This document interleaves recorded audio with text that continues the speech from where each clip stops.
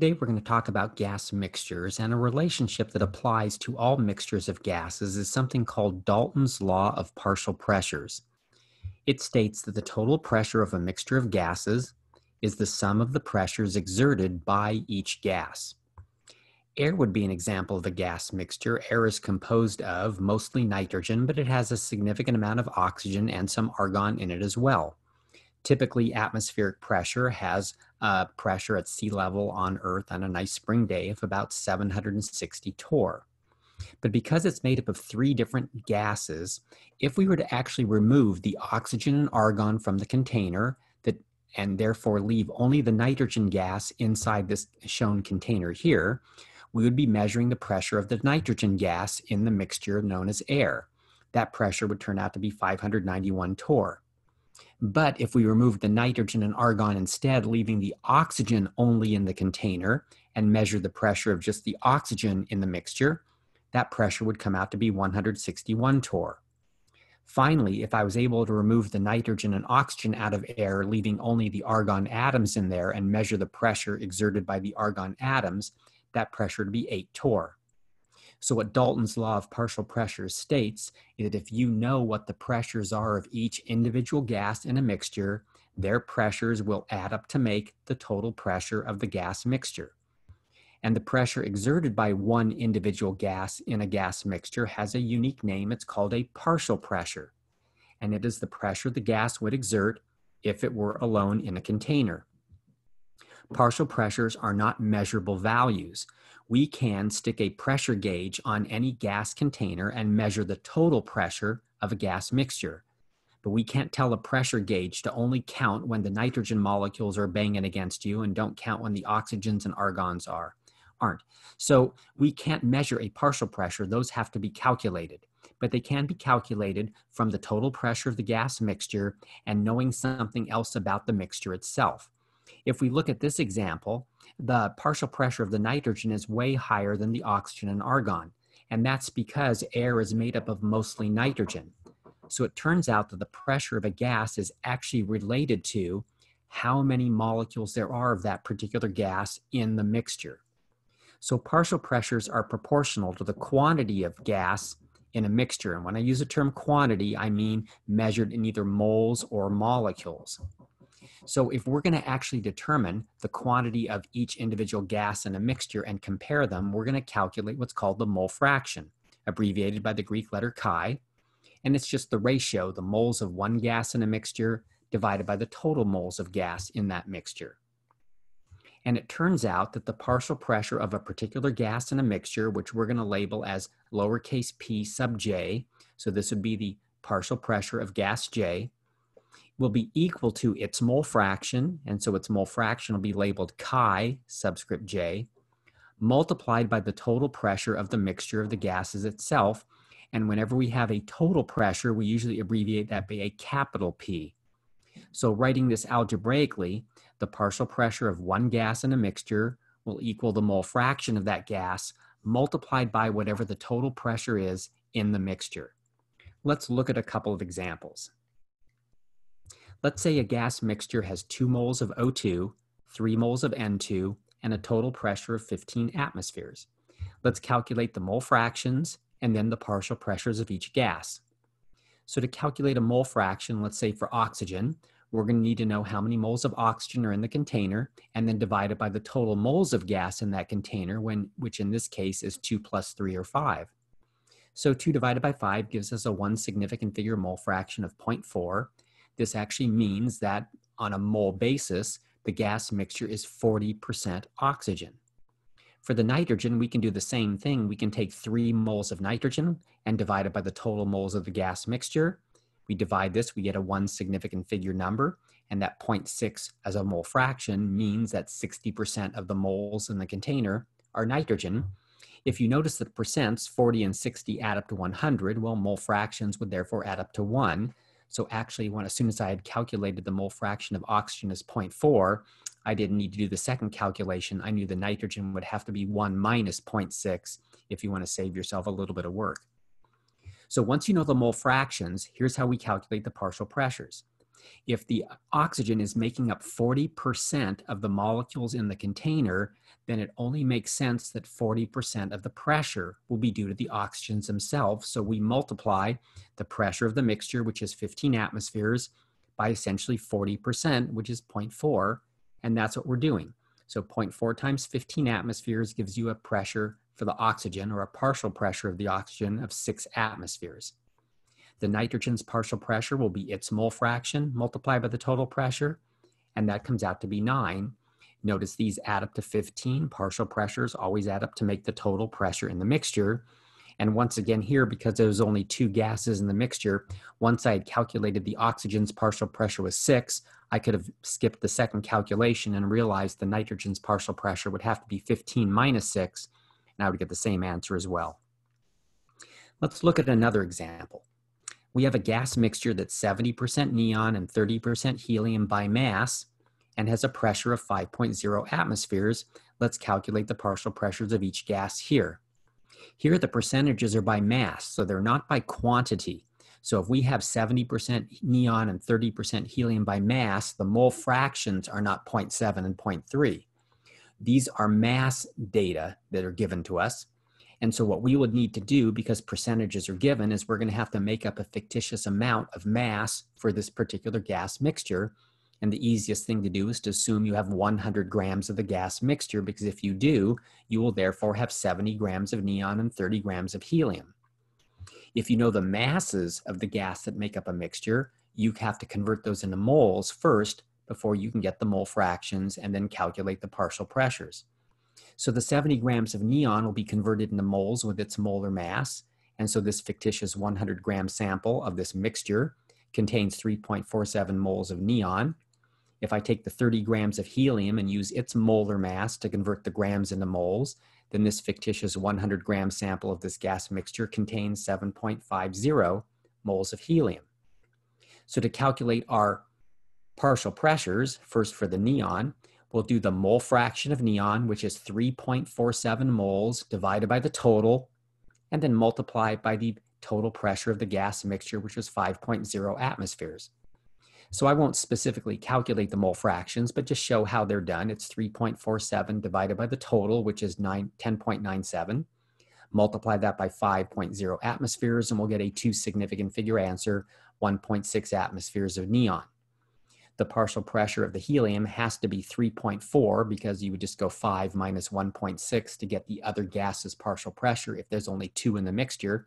But if we want to calculate it out, we'll do the mole fraction of the helium, which is 7.50 moles, divided by 10.97 moles, multiplied by the total pressure of five atmospheres, and that comes out 3.4 atmospheres of helium. This will be relevant when we're going to later be experimentally collecting gases in lab, and I want to talk about that topic for a few minutes here. If we collect a gas during an experiment, quite often the main purpose for that is to actually calculate the quantity of gas in that container, how many moles are in there. And if you want to determine the quantity of a gas collected in lab, you actually have to make three measurements about that gas.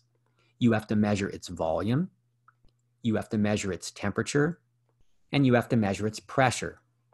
If you measure these three quantities, which can all be done in lab, we'll talk about those today. Then with the ideal gas law equation, PV equals nRT, we can solve for the quantity of gas by just going PV over RT. The way we usually collect gases in lab is in a long glass tube that looks like a really, really long test tube that's called a eudiometer, just a fancy gas collecting tube. And we usually completely fill it with a liquid, quite often water, then we turn it upside down and insert it, insert it into a beaker of water, and then we usually clamp it to a ring stand. So in this picture here, I've got an inverted eudiometer that's completely filled with water. So what we do is we actually put a hose or some source of gas underneath the bottom of the eudiometer and we let the gas be evolved into the eudiometer. It forces the water out and the gas, because it's less dense than water, rises to the top and we have the gas trapped in the eudiometer.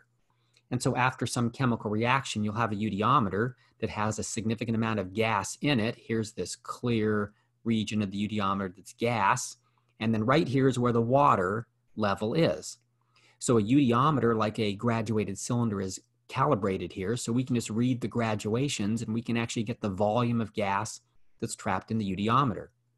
To get the temperature of the gas, we would have to use a device called a thermometer, but it's hard to get a thermometer up into that eudiometer. So usually what we do is we just stick the thermometer into the water. And because the water is touching the gas, we'll assume they're in thermal equilibrium. And that's a fancy way of saying the same temperature. And so we'll have the temperature of the gas. The one tricky thing to calculate is the pressure. And so I want to do a couple of examples and show you how you determine the pressure of a gas when it's collected in a eudiometer, much like in this picture here. I'm going to start by assuming we're collecting gases by displacement of mercury instead of water. So I have three different eudiometers here. They were originally filled with mercury, but a gas has been collected. The gas has forced the mercury out of the eudiometer, and we have these three different situations where we could see the volume by reading the graduations. We can measure the temperature by sticking a thermometer into the mercury. And now we want to be able to measure the pressure of each of these gases. So let's say in each of these we're collecting hydrogen gas. And on this particular day, the barometer in the room has shown that atmospheric pressure is 765 millimeters of mercury.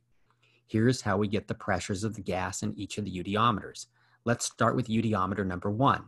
The most important thing is recognizing where the level of mercury is inside the eudiometer. And in number one, the level of mercury is the same on the inside of the eudiometer as it is on the outside. Why is that significant? The atmospheric molecules are banging down on the surface of mercury in the open beaker.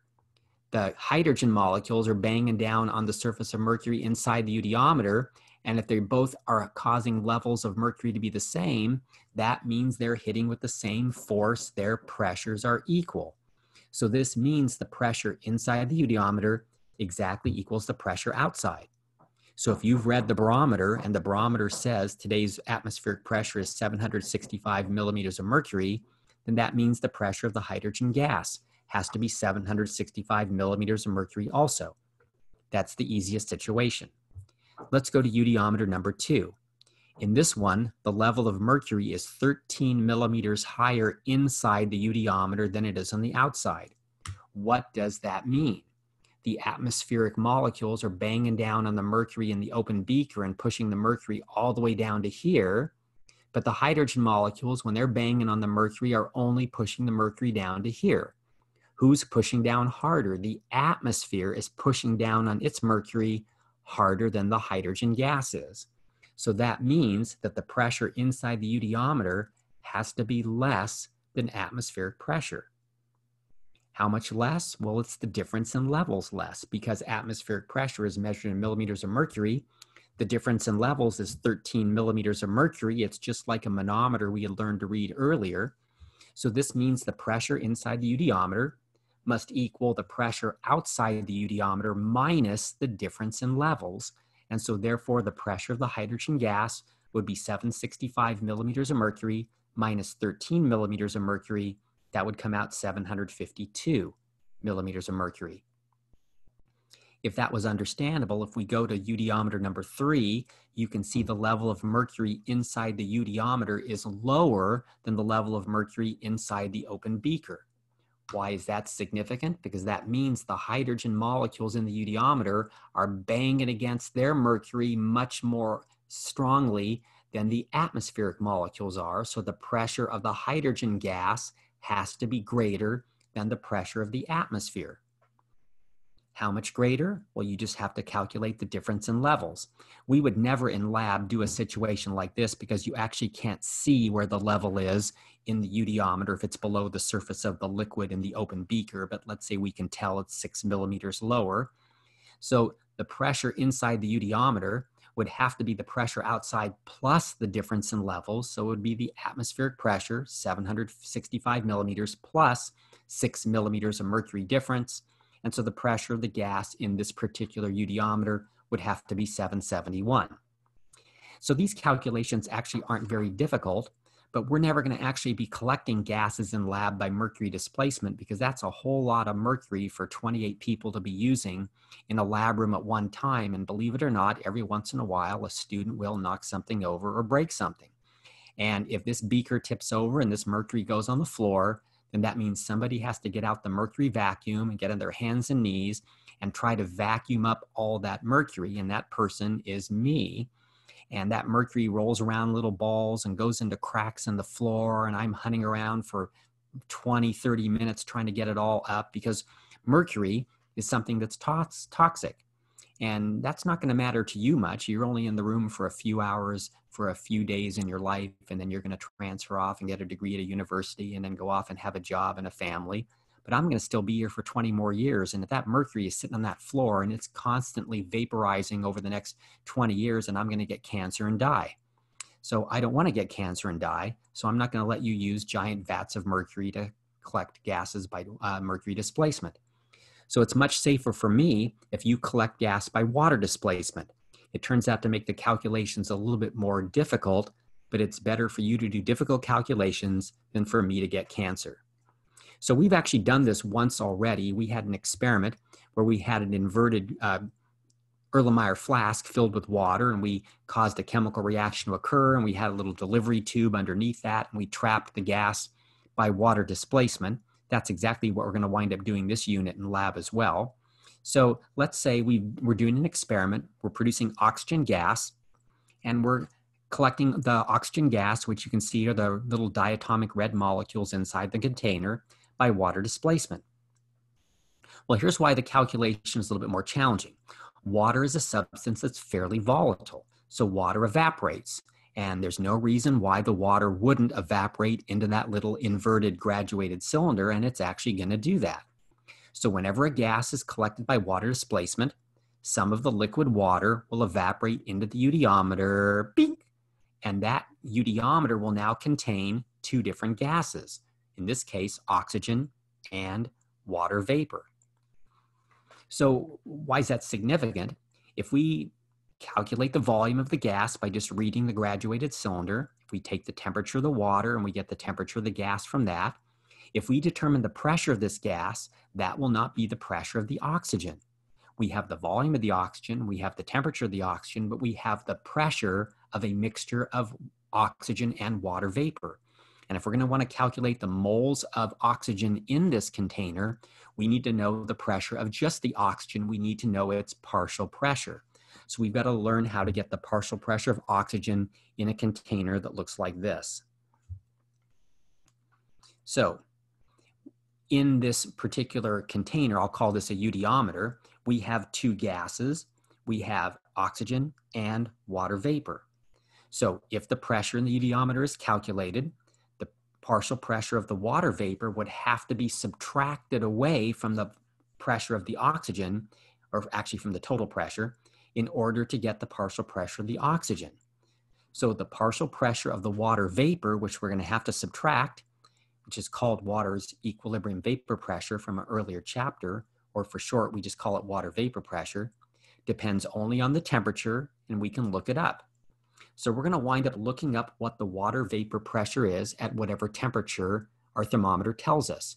So if we can measure the pressure in the eudiometer, and we'll talk about how to do that, then we're going to calculate the pressure of the oxygen by just subtracting the pressure of the water vapor from the pressure that's actually in the eudiometer. And we'll look at two examples. These are two eudiometers that have gases trapped by water, so they're collected by water displacement. And in the first one, uh, the levels are the same, and the second one, the levels aren't. So let's say we're collecting oxygen gas, and atmospheric pressure on this particular day in the lab is 765 millimeters of mercury. In the first eudiometer, what's important to recognize is the water levels are the same on the inside and outside. What that means, a same, doesn't matter what the liquid is, if the levels are the same, that means the pressure in the eudiometer is exactly equal to the pressure outside the eudiometer. Here's the difference though. What's in the eudiometer? It's oxygen plus water vapor. So therefore, the pressure of oxygen plus the pressure of water vapor is going to equal the pressure outside. And if we want to calculate just the pressure of the oxygen gas, we're going to have to subtract the pressure of the water vapor from both sides of the equation. That's how we'll essentially do it. Now, where does that water vapor pressure come from? Well, it comes from knowing what the temperature of the water is. If we put a thermometer into the water and the water temperature is 25 degrees Celsius, we'll have a chart in our lab room and it tells what the water vapor pressure is at every different temperature you'd ever want to know. And if we just look up under 25 degrees Celsius, it says the water vapor pressure at 25 degrees Celsius is 24 millimeters of mercury. So in this equation at the bottom now, we don't know the pressure of oxygen, but we know the pressure of the water vapor is 24 millimeters of mercury, and we know the outside pressure is 765. So therefore, the pressure of oxygen plus 24 has to equal 765. We're just going to subtract the 24 millimeters from the 765, and that's going to tell us what the pressure of oxygen is in the first eudiometer. That comes out 741 millimeters of mercury. Let's go to the second one, because the second one is traditionally what happens when you collect a gas by water displacement. Usually, we're not lucky enough that a chemical reaction produces just the right amount of gas to make the level of water inside the eudiometer the same as the outside. So you'll quite often have a situation where the level of water in the eudiometer is a little bit higher than it is on the outside. Let's talk about how we handle that. So what does it mean about the pressure inside of eudiometer number two if the levels are not the same? Well, because the water is higher in the eudiometer, that means in this case, the oxygen molecules are not pushing down as hard as the atmosphere. The atmosphere has a higher pressure. In other words, the oxygen has a lower pressure. So because the water level is higher inside the eudiometer, that means the pressure inside the eudiometer is less than the pressure outside. How much less is it? it's less by the difference that's measured. And in this picture, it's 27 millimeters less. So the pressure inside the eudiometer would equal the atmospheric pressure minus the difference in levels. Okay. Now, the difference in levels are 27 millimeters of water. Atmospheric pressure is 765 millimeters of mercury. We're not going to be able to subtract millimeters of water from millimeters of mercury. So we're going to have to convert the 27 millimeters of water into what it would be if this container had mercury in it instead of water. Okay. Now, the pressure inside the eudiometer, because we're collecting it actually by water displacement, is going to be the pressure of the oxygen plus the pressure of the water vapor. And that will therefore equal the atmospheric pressure minus the difference in levels, which we're going to have to calculate what that would be in the units of millimeters of mercury. So let's do that. The difference in levels was 27 millimeters of water, and the equality statement between the two is inversely related to their densities because mercury's density is 13.6 grams per milliliter and water's density is 1.00 grams per milliliter. If we invert those, that means in terms of heights of columns, one millimeter of the more dense mercury will equal 13.6 millimeters of column height for the less dense water. So I can say 13.6 millimeters of water is equivalent to one millimeter of mercury, and I can convert the millimeters of water into what they would be if they were mercury. So in our equation at the bottom, the difference in levels would now be 2.0 millimeters of mercury. The atmospheric pressure is 765 millimeters of mercury, and the water vapor pressure is 24 millimeters of mercury. So we know every number in this calculation except for the partial pressure of oxygen. So to calculate that, we're going to go 765 millimeters of mercury minus 2.0 millimeters of mercury, and then minus the 24 millimeters of mercury. And we're going to get the partial pressure of the water, of the oxygen gas in this eudiometer to equal 739 millimeters of mercury. So we've done a lot of things here. Let's maybe recap it once and just sort of simplify this a little bit for you. So I've got a couple of pictures of, a, of eudiometers where gases are collected by mercury displacement on the left, and a couple of eudiometers where gases are collected by displacement of water on the right. I'm going to use AP to stand for atmospheric pressure, whatever that happens to be. That'll just be my abbreviation. And I'll use WVP to stand for water vapor pressure. So whatever that happens to be, we'll use that as its uh, symbol. So for each of these different eudiometers, let's see if we can determine what the pressure of the gas would be. Let's start with the one on the very left. That'll be eudiometer number one. The levels of mercury are the same on the inside and outside. If you're collecting a gas by mercury displacement and the levels are the same, the pressure of your gas just equals whatever the atmospheric pressure is. We're done with number one. In eudiometer number two, the levels are not the same. The level of mercury inside the eudiometer is higher than in the open beaker. that means the gas's pressure is less than atmospheric pressure. And because my H in the picture is measured in millimeters of mercury because we're collecting it by mercury displacement, I can directly subtract the atmospheric pressure in millimeters of mercury and H in millimeters of mercury. And so the pressure of the collected gas is just going to equal atmospheric pressure minus H. To the uh, other side, eudiometer number three, we have a gas collected by water displacement. The level of water is the same on the inside and outside. That means the pressure in the eudiometer has to exactly equal atmospheric pressure. But when you collect a gas by water displacement, there'll be some water vapor in there. So although the pressure in the eudiometer equals atmospheric pressure, the pressure of the gas we're trying to collect will be the atmospheric pressure minus any partial pressure due to the water vapor. So the pressure of our gas will be atmospheric pressure minus whatever WVP is. And quite often, when you calculate the pressure of a gas, after you've subtracted its water vapor pressure, they call that the pressure of dry gas. So people know that the water vapor pressure has already been accounted for and subtracted. The final situation is what we'll see in our next experiment on the gas laws. We have a gas collected by water displacement, and the levels are different. So the pressure inside this eudiometer has to be less than the atmospheric pressure because the level of water is higher in the eudiometer. So the pressure of the gas is going to be atmospheric pressure minus the difference in levels. And how do we get that into millimeters of mercury? We take the H millimeters of water and we divide it by 13.6. So if we subtract from the atmospheric pressure H divided by 13.6, that will be the pressure in the eudiometer.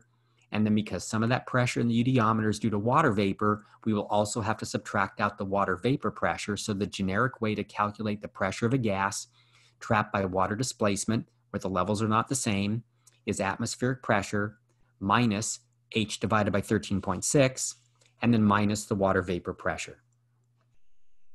Let's do one example where we actually do a stoichiometric calculation from a gas collected in lab. Let's say a sample of zinc metal is reacted with hydrochloric acid and 44.2 milliliters of hydrogen gas are collected by water displacement. Some data about the experiment. Water temperature is 22 degrees Celsius. The water level is 54 millimeters higher inside the eudiometer. Barometric pressure is 752 millimeters of mercury. And water vapor pressure at 22 degrees Celsius is 20 millimeters of mercury if we draw a picture of uh, what they're describing here, you can imagine a eudiometer inverted into a beaker of water, and the level of water inside the eudiometer is 54 millimeters higher than the outside. We're going to use this picture to calculate the pressure of the hydrogen gas inside that eudiometer because they've already told us the volume of hydrogen gas and we already know its temperature because we'll assume its temperature is the same as water's. So we'll use that picture to calculate what the pressure will be. What are we going to do? We're going to try to calculate the mass of zinc that was in the original sample. So the one major calculation from our picture is to figure out what the pressure of the hydrogen gas is. The difference in levels are 54 millimeters of water. We have to convert that into millimeters of mercury. So I'm going to use my conversion factor, 13.6 millimeters of water equals one millimeter of mercury. And that means that if mercury was in the container instead of water, the difference in levels would be 3.97 millimeters. So therefore, the pressure in the eudiometer is atmospheric pressure 752 minus 3.97. And then because there's going to be some water vapor in the eudiometer, we also have to subtract the water vapor pressure of 20 millimeters of mercury. So our pressure of dry hydrogen gas will be 752 millimeters of mercury minus 3.97 millimeters of mercury minus 20 with a decimal point millimeters of mercury. That comes out 728 millimeters of mercury. If we're going to be using the ideal gas law equation, I'm going to want to have that in atmospheres. So let me just do one more conversion here, converting the pressure from millimeters of mercury into atmospheres by using the equality statement, one atmosphere equals 760.0 millimeters of mercury. And so the pressure of the dry hydrogen gas is 0.957 guard digit 9 atmospheres. Now, to do the stoichiometric calculation, we need the balanced equation. So this is the reaction of zinc with hydrochloric acid. This is a replacement reaction. Zinc's an active enough metal to replace hydrogen out of acids. It'll remove the hydrogen, bond with the chloride to form zinc chloride, And as the zinc atoms turn into zinc ions to bond with the chloride, it causes the hydrogen ions to turn into hydrogen atoms, and you get hydrogen gas, which is diatomic. Balanced equation, we would need a 2 in front of the HCl. Now let's write down what's given and what we're trying to figure out. We've collected 44.2 milliliters of hydrogen gas, and we're trying to solve for the mass of zinc. So the important ratio in this problem is that one to one mole ratio between the zinc and the hydrogen. First step is to always convert the given information into moles. So if we want to convert the 44.2 milliliters of hydrogen gas into moles, this is a gas volume conversion. It's done with PV equals nRT. So we're going to take our pressure of the dry hydrogen gas, which is 0.9579 atmospheres, multiplied by its volume converted to liters, 0.0442 liters, divided by the universal gas constant R, and divided by the temperature converted to Kelvin, which would be 295 with a guard digit 0.2 Kelvin. So this allows us to calculate the number of moles, the quantity of hydrogen gas trapped in the eudiometer in this experiment. Atmospheres cancel out, liters cancel out, Kelvin cancel out, the moles in the denominator under a fraction bar flip to the top, and so therefore this eudiometer contained this microscopically small number of moles of hydrogen gas, 0.001748 moles of hydrogen. So in a stoichiometric calculation, that's step number one, convert the given information into moles.